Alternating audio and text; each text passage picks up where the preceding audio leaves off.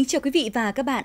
Mời quý vị và các bạn đến với chương trình thời sự hôm nay của Đài Phát thanh Truyền hình Hưng Yên, chương trình chủ nhật ngày 23 tháng 6. Và bây giờ là những nội dung chính sẽ có trong chương trình. Phó Chủ tịch Ủy ban nhân dân tỉnh Nguyễn Duy Hưng họp với các điểm trưởng điểm thi Trung học phổ thông quốc gia năm 2019. Mọi công tác chuẩn bị cho kỳ thi trên địa bàn tỉnh đã được hoàn tất. Hưng Yên thu hút được gần 450 dự án đầu tư nước ngoài với số vốn đăng ký trên 4,4 tỷ đô la Mỹ. Các diện tích trồng dưa lưới ở huyện Phù Cử bán được với giá cao. Giá chuối tây ổn định giúp người trồng thu nhập khá. Thị trấn Ân Thi, tỷ lệ người dân sử dụng nước sạch tăng cao. Xã Hùng Cường, thành phố Hưng Yên, điện yếu làm ảnh hưởng đến sinh hoạt của nhiều hộ dân. Bệnh nhân điều trị tại bệnh viện khó khăn trong điều trị phục hồi do thời tiết nắng nóng. Thưa quý vị và các bạn, sáng nay tại Sở Giáo dục và Đào tạo, đồng chí Nguyễn Duy Hưng, Phó Chủ tịch Ủy ban nhân dân tỉnh, trưởng ban chỉ đạo kỳ thi Trung học phổ thông quốc gia năm 2019 tỉnh Hưng Yên đã chủ trì cuộc họp với lãnh đạo Sở Giáo dục và Đào tạo và điểm trưởng các điểm thi Trung học phổ thông quốc gia năm 2019 để ra soát lại công tác chuẩn bị thi.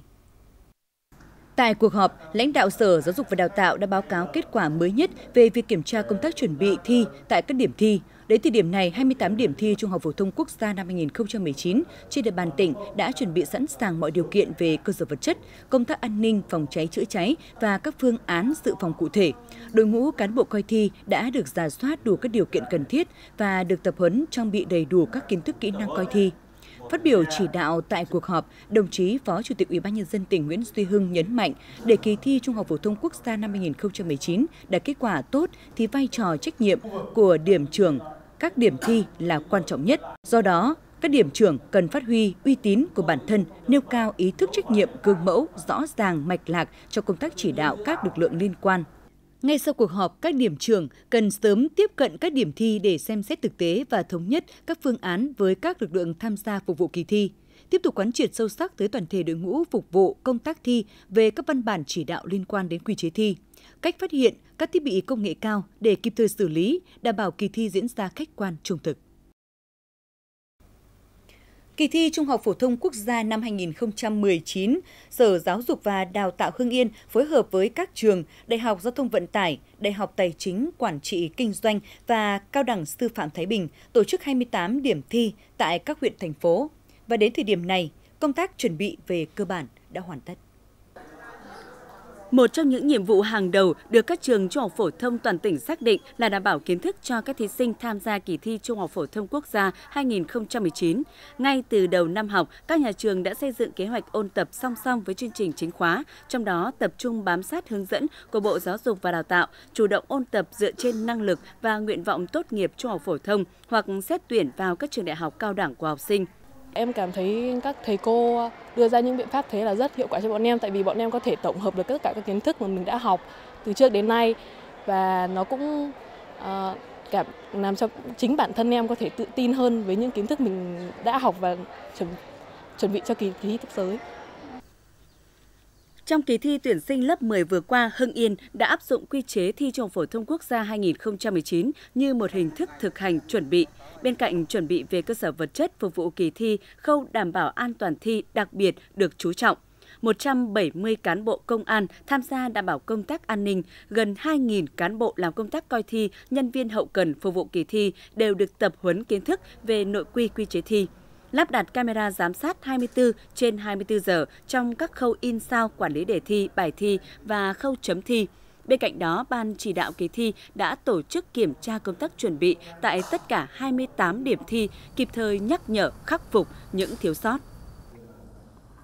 Cơ sở vật chất chúng tôi đã chuẩn bị đầy đủ theo quy định, quy chế. Nó là gồm có đủ 31 phòng thi, hai phòng dự bị và phòng chờ. Thế trong mỗi phòng thi thì bàn ghế hệ thống là chúng tôi đã đã, đã chuẩn bị đầy đủ chu đáo hệ thống quạt điện ánh sáng là cũng đã rất là đầy đủ. Cơ sở vật chất khang trang nước uống đến tận phòng thi. Và xung quanh điểm thi là đã được vệ sinh rất là sạch sẽ để các em làm sao chuẩn bị tốt nhất để các em bước vào cái thi cho nó thoải mái. Không chỉ vậy, Ban chỉ đạo kỳ thi cũng yêu cầu các ngành liên quan như điện lực, thanh niên tình nguyện y tế sẵn sàng lực lượng chủ động xây dựng phương án phối hợp đảm bảo kỳ thi trung phổ thông quốc gia trên địa bàn tỉnh diễn ra an toàn, nghiêm túc và đúng quy chế. Đến thời điểm này thì với tất cả những công tác chuẩn bị và chúng tôi đã thực hiện thì có thể khẳng định là tỉnh Hưng Yên đã à, thực hiện cái công tác chuẩn bị đảm bảo sẵn sàng tổ chức một kỳ thi an toàn, nghiêm túc, đúng quy chế. Ngày 24 tháng 6, hơn 12.400 thí sinh tỉnh Hưng Yên sẽ làm thủ tục để bước vào kỳ thi Trung học phổ thông quốc gia 2019. Thời gian thi trong 3 ngày với các môn thi là ngữ văn, toán, ngoại ngữ và tổ hợp môn khoa học tự nhiên, khoa học xã hội.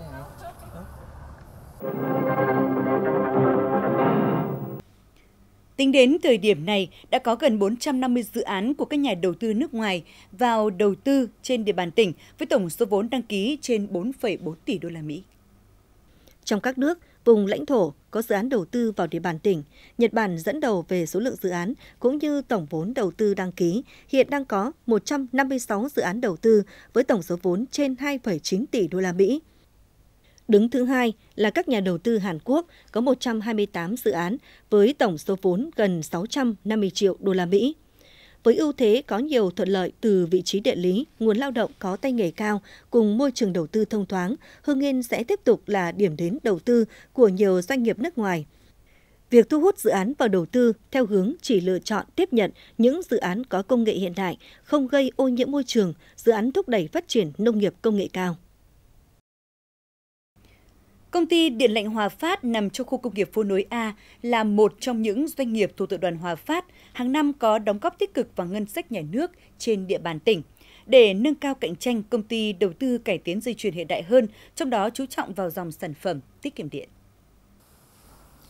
Ngoài mặt hàng điều hòa Funiki là sản phẩm chủ lực từ nhiều năm nay để phục vụ tốt hơn nhu cầu người tiêu dùng trong nước cũng như xuất khẩu, năm 2019 doanh nghiệp còn sản xuất dòng điều hòa không khí Funiki HST series sử dụng môi chất làm lạnh thế hệ mới kết hợp với công nghệ inverter giúp tiết kiệm điện năng. Bình quân mỗi ngày, công ty sản xuất gần 1.000 sản phẩm tủ lạnh, tủ đông, điều hòa không khí các loại, thị trường tiêu thụ chính trong nước và một phần xuất khẩu. Hiện công ty đang tạo việc làm cho gần 300 lao động với mức lương bình quân từ 7 đến 10 triệu đồng một người trên tháng. Điện lạnh Hòa Phát cùng với các công ty thuộc tập đoàn như Nội thất Hòa Phát, Ống thép Hòa Phát, Thép Hòa Phát là những doanh nghiệp nhiều năm liền có số nộp ngân sách lớn. Bình quân mỗi năm các doanh nghiệp thuộc tập đoàn Hòa Phát nộp ngân sách nhà nước trên địa bàn tỉnh gần 1.000 tỷ đồng. Tiếp theo, chương trình thời sự xin được chuyển sang các thông tin về kinh tế. Thưa quý vị và các bạn, hiện nay các diện tích trồng dưa lưới ở huyện Phù Cử đang trong thời kỳ thu hoạch. Đây là giống cây trồng cho giá trị kinh tế cao, mở ra hướng đi mới trong sản xuất nông nghiệp sạch, hiện đại và bền vững. Huyện Phù Cử hiện có hai mô hình dưa lưới với diện tích 4 ha tại xã Tống Trân và 1 ha tại xã Tiên Tiến. Người dân trồng các giống dưa của Nhật Bản vì khả năng kháng bệnh tốt, độ đường cao, thịt quả giòn, hương thơm hấp dẫn. Dưa được trồng trong nhà kính theo chu trình khép kín, người trồng tuân thủ nghiêm ngặt theo quy trình Việt Gáp nên tuyệt đối an toàn cho sức khỏe. Hiện nay dưa được trồng hai vụ trên năm, từ khi trồng đến khi thu hoạch là 80 ngày. Trọng lượng mỗi quả từ 1,5 đến 2 kg, mỗi xào cho thu trên 1 tấn quả. Dưa lưới đang được bán với giá cao, trung bình 50.000 đồng một kg, mỗi xào cho thu lãi từ 30 đến 40 triệu đồng. Hiện nay, các diện tích trồng chuối tây trên địa bàn huyện Khoái Châu chuẩn bị thu hoạch xong. Nhờ có đầu ra tiêu thụ ổn định nên chuối tây năm nay được mùa và được giá. Huyện Khói Châu có trên 500 ha chuối Tây Thái Lan tập trung tại các xã Tân Châu, Tứ Dân, Đại Tập.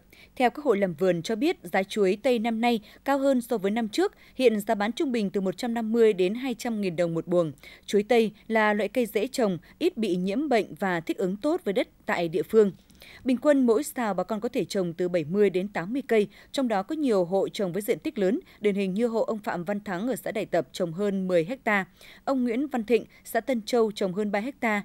Chuối thu hoạch được tiểu thương đến đặt mua và liên kết tiêu thụ ngay tại ruộng, đem lại nguồn thu nhập cao cho nhiều hộ gia đình. Thưa quý vị và các bạn, do chưa bàn giao lưới điện cho ngành điện quản lý, cộng với việc hạn chế nâng cấp đầu tư sửa chữa, nên những năm gần đây, nguồn điện của xã Hùng Cường, thành phố Hưng Yên rất yếu và ảnh hưởng rất lớn tới sản xuất sinh hoạt của nhân dân.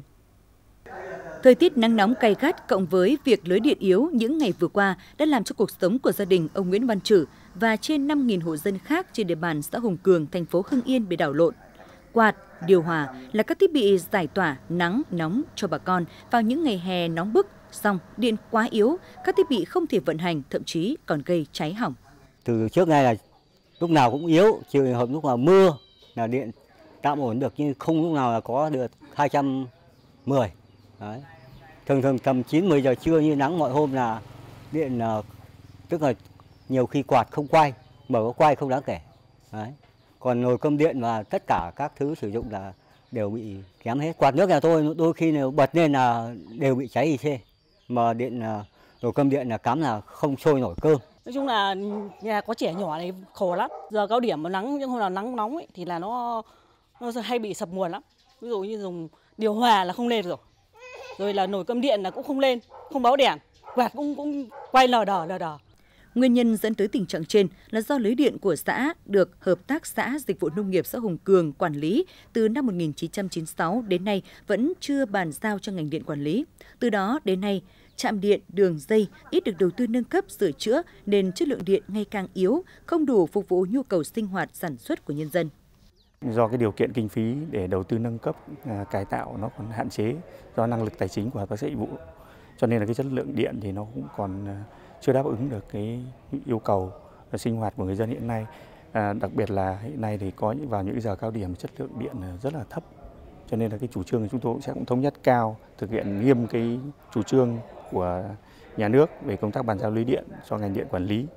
Và hiện nay thì chúng tôi cũng đã thống nhất là đến hết 30 31 tháng 6 là chúng tôi cũng sẽ chủ động à, báo cáo cấp trên và làm việc với ngành điện để tổ chức bàn giao lưới điện cho ngành điện quản lý để nâng cao chất lượng à, điện sinh hoạt cho nhân dân. Nhu cầu sử dụng điện của nhân dân ngày một cao. Để ổn định sinh hoạt sản xuất, bảo vệ thiết bị điện của nhân dân, chính quyền địa phương, hợp tác xã dịch vụ nông nghiệp và ngành điện thành phố Hưng Yên cần sớm đề ra giải pháp nâng cao chất lượng điện cho bà con nhân dân xã Hùng Cường. Nắng nóng, oi bức và khó thở, đó là cảm nhận của nhiều người trong những ngày gần đây khi nền nhiệt độ tăng cao tới 38-39 độ C. Thế nhưng, từng đó sự khó chịu vẫn chưa thấm vào đâu so với những gì mà những bệnh nhân đang phải chịu đựng về sự khắc nghiệt của thời tiết. Kinh nhận của nhóm phóng viên tại Bệnh viện Phổi Hưng Yên. Bệnh nhân Nguyễn Khắc Đan, 64 tuổi, quê ở xã Minh Hoàng, huyện Phù Cử, đang điều trị căn bệnh phổi tắc nghẽn mãn tính tại Bệnh viện Phổi Hưng Yên. Mấy hôm nay thời tiết nắng nóng, bình oxy lúc nào cũng phải đặt bên giường bệnh. Thế nhưng chỉ thở thôi cũng đã quá mệt mỏi. Còn đây là bệnh nhân Chu Thị Thức ở xã Văn Nhuệ, huyện Ân Thi, năm nay 81 tuổi. Bà Thức điều trị tại bệnh viện đã một tháng nay và nằm giường tự nguyện có điều hòa. Nhưng cái nắng nóng vẫn khiến bà vô cùng mệt mỏi. Sáng nay, bà vừa bị lên cơn tăng huyết áp, đến giờ cơm cũng chẳng muốn ăn. Sáng nay ra cái nó bắt đầu nằm bẹp như vậy thời tiết nó quá quá là khắc nghiệt mặc dù máy lạnh chạy hết công suất đấy lúc nào cũng chạy hết công suất ăn uống thì sao hôm qua vẫn ăn bình thường một bát cơm bình thường nhưng mà ngày hôm nay không mua các bác sĩ từ Bệnh viện Phổi tỉnh Hưng Yên cho biết, thời tiết khắc nghiệt như hiện nay khiến cho bệnh nhân khó thở, dễ viêm nhiễm. Ngoài nền tảng bệnh ban đầu, bệnh nhân dễ mắc thêm các bệnh viêm phổi, viêm đường hô hấp trên. Nhóm bệnh nhân bị tăng huyết áp, tim mạch, dễ lên cơn tăng huyết áp, bệnh nhân cao tuổi bị mất nước, mất điện giải, chán ăn. Bệnh viện cũng đã bố trí quạt điều hòa để chống nóng, ổ cắm để người bệnh dùng thêm quạt cá nhân, nhưng thời tiết hiện nay quá khắc nghiệt nên vẫn không thấm vào đâu. Nắng nóng nói chung thì nó cũng ảnh hưởng đến quá trình sinh hoạt của bệnh nhân, ăn uống rất là kém và sinh hoạt vận động đi lại cũng rất là kém. Nó ảnh hưởng gián tiếp đến cái quá trình điều trị của bệnh nhân. Và cái quá trình phục hồi của bệnh nhân làm tăng cái thời gian điều trị của bệnh nhân lên và cái tiến triển bệnh cũng khá là chậm. Thì với những thời tiết nắng nóng như này, tất cả mọi người hạn chế ra ngoài đường, hạn chế tiếp xúc với những ờ, nắng nóng. Đặc biệt là uống ờ, nhiều nước và bổ sung điện giải rất là đầy đủ. Ăn uống tăng cường chất dinh dưỡng và đặc biệt là bổ sung các loại rau xanh và quả chín. Biến đổi khí hậu hiện đang là vấn đề toàn cầu và những hậu quả mà nó gây ra thì ngày một rõ rệt và nặng nề hơn. Nhiệt độ tăng cao đang ảnh hưởng trực tiếp tới sức khỏe của người dân và đặc biệt là với những người bệnh. Ờ, việc sử dụng điều hòa hay là quạt trần thì cũng chỉ là những biện pháp tạm thời. Về lâu dài thì cần phải trồng và bảo vệ thật nhiều cây xanh, giữ gìn sông ngòi ao hồ và quan trọng là bảo vệ môi trường sống của chúng ta. Chương trình thời sự xin được chuyển sang các tin tức đáng chú ý khác. Thực hiện chương trình nước sạch và vệ sinh môi trường nông thôn, những năm gần đây tỷ lệ hộ dân sử dụng nước sạch tại thị trấn Ân Thi, huyện Ân Thi không ngừng tăng cao. Từ năm 2016, tỷ lệ người dân sử dụng nước sạch tại thị trấn Ân Thi tăng cao. Ban đầu, tỷ lệ hộ dân sử dụng nước sạch tại công ty cổ phần nước sạch Hưng Yên chỉ chiếm 20%. Đến nay, trong tổng số hơn 3.000 hộ dân sinh sống tại thị trấn, tỷ lệ gia đình sử dụng nước sạch chiếm gần 80%. Có được kết quả trên là do địa phương đẩy mạnh tuyên truyền vận động người dân nâng cao nhận thức về sử dụng nước sạch, bỏ thói quen sử dụng nước ao hồ và nước giếng khoan chuyển sang sử dụng nước máy trong sinh hoạt, qua đó góp phần cải thiện môi trường sống cho nhân dân. Thực hiện kế hoạch 93A của Ủy ban nhân dân tỉnh về giải tỏa các vi phạm xây dựng công trình trái phép trên đất nông nghiệp, hành lang giao thông và công trình thủy lợi, xã Việt Hưng, huyện Văn Lâm đã tổ chức vận động cưỡng chế giải tỏa được trên 60% số trường hợp vi phạm. Thống kê đến thời điểm này, xã Việt Hưng đã giải tỏa được 46 trên 67 trường hợp vi phạm xây dựng công trình trái phép trên đất nông nghiệp, hành lang giao thông và công trình thủy lợi. Hiện trên địa bàn xã còn 21 trường hợp vi phạm xây dựng công trình trái phép trên đất nông nghiệp chưa được giải tỏa với tổng diện tích gần 3.200 m2. Các vi phạm tập trung chủ yếu ở thôn Đồng Trung với hình thức vi phạm là xây dựng lều lán, chuồng trại. Thời gian tới, xã Việt Hưng sẽ tiếp tục vận động và kiên quyết giải tỏa các trường hợp vi phạm còn lại, thực hiện tốt công tác quản lý đất đai ở địa phương nhằm trang bị cho trẻ em những kỹ năng để phòng chống tai nạn thương tích, giảm tới mức thấp nhất tỷ lệ trẻ em bị tử vong do đuối nước gây ra. Huyện đoàn Ân Thi tổ chức 5 lớp học bơi miễn phí cho thanh thiếu nhi trong toàn huyện. Tham gia lớp học bơi có 250 thiếu niên nhi đồng, độ tuổi từ 7 đến 14 tuổi trong toàn huyện và được chia làm 5 lớp tại 3 điểm ở thị trấn Ân Thi, xã Hồng Quang và Bãi Sậy. Mỗi lớp học đều có giáo viên và các tình nguyện viên là đoàn viên tại các xã thị trấn hướng dẫn giám sát trẻ trong quá trình học bơi. Trong thời gian học bơi, các em được dạy bơi hướng dẫn các kỹ năng chống đuối nước. Qua lớp dạy bơi miễn phí sẽ giúp cho nhiều em biết bơi, vừa để rèn luyện nâng cao sức khỏe thể trạng, vừa chống lại các tai nạn đuối nước. Thời gian mở lớp dạy bơi miễn phí bắt đầu từ ngày 17 tháng 6 đến hết tháng 7. Để rèn luyện kỹ năng phòng chống đuối nước cho trẻ trong những ngày hè, nhiều phụ huynh trên địa bàn thị trấn Khoái Châu, huyện Khoái Châu đã chủ động phối hợp với bể bơi của trung tâm huyện mở lớp dạy bơi cho trẻ, qua đó giúp cho các em rèn luyện thân thể và kỹ năng phòng chống đuối nước. Mỗi khi mùa hè đến, tai nạn đuối nước luôn là nỗi lo thường trực của các bậc phụ huynh. Bởi vậy, với mong muốn phòng ngừa tai nạn đuối nước cho các em nhỏ, ngay khi kỳ nghỉ hè chuẩn bị bắt đầu, nhiều phụ huynh tại thị trấn huyện Khói Châu đã phối hợp với bể bơi tại trung tâm của huyện tổ chức dạy bơi kỹ năng bơi cho trẻ. Trung tâm hiện có hai hồ bơi với diện tích 200 m2 và 150 m2, kinh phí đầu tư trên 1 tỷ đồng. Sau gần 5 năm đi vào sử dụng, mỗi ngày bể bơi thu hút từ 300 đến 400 lượt người đến bơi. Giá vé trẻ em là 20.000 đồng và giá vé đối với người lớn là 30.000 đồng một lượt, giúp các em có khu vui chơi lành mạnh, bổ ích. Vừa qua, Ủy ban Mặt trận Tổ quốc Việt Nam huyện Văn Giang đã phối hợp với Ủy ban nhân dân xã Tân Tiến tổ chức khởi công xây nhà đại đoàn kết cho gia đình bà Phạm Thị Nhi ở thôn Vĩnh Lộc. Bà Phạm Thị Nhi năm nay gần 80 tuổi, sống một mình, thường xuyên đau ốm. Nhiều năm nay bà sống trong căn nhà cũ nát, chật trội. Ủy ban Mặt trận Tổ quốc huyện hỗ trợ 10 triệu đồng, Hội chữ thập đỏ huyện hỗ trợ 20 triệu đồng và sư thầy Thích Minh Khởi, trưởng ban trị sự Hội Phật giáo huyện hỗ trợ 20 triệu đồng, cùng với gia đình và nhân dân địa phương chung tay đóng góp bằng ngày công lao động, bằng vật liệu để xây dựng nhà. Ngôi nhà có diện tích khoảng 70 mét vuông để ngăn chặn tình trạng chó thả rông có nguy cơ cắn người, huyện Kim Động là một trong những huyện đầu tiên của tỉnh thành lập đội bắt chó thả rông. Ngay từ cuối tháng 5, thị trấn Lương Bằng, huyện Kim Động đã thành lập được đội chuyên trách để bắt chó thả rông nơi công cộng. Đội gồm có 13 thành viên với nòng cốt là lực lượng công an, quân sự, thú y địa phương và 4 trưởng thôn. Nhiệm vụ của đội là tuyên truyền và kiểm tra tại các nơi công cộng, phát hiện chó thả rông sẽ bắt giữ, thông báo cho các hộ gia đình và xử lý theo đúng quy định. Tuy nhiên, hiện nay thị trấn mới chỉ triển khai tuyên truyền trên loa truyền thanh của thị trấn và của các thôn về vấn đề này, yêu cầu người dân nâng cao ý thức, cần có hình thức nuôi nhốt phù hợp. Thực tế, thị trấn còn gặp khó khăn ở việc tìm địa điểm, phương tiện nuôi nhốt và người trông coi những con chó thả rông bị bắt giữ. Qua tìm hiểu ở một số địa phương thì đây cũng là vướng mắc chung khiến cho các đội chuyên trách chưa thực sự đi vào hoạt động hiệu quả. Quý vị và các bạn thân mến, tới đây chúng tôi xin kết thúc chương trình thời sự của Đài Phát thanh và Truyền hình Hưng Yên. Cảm ơn quý vị và các bạn đã dành thời gian theo dõi. Xin kính chào tạm biệt.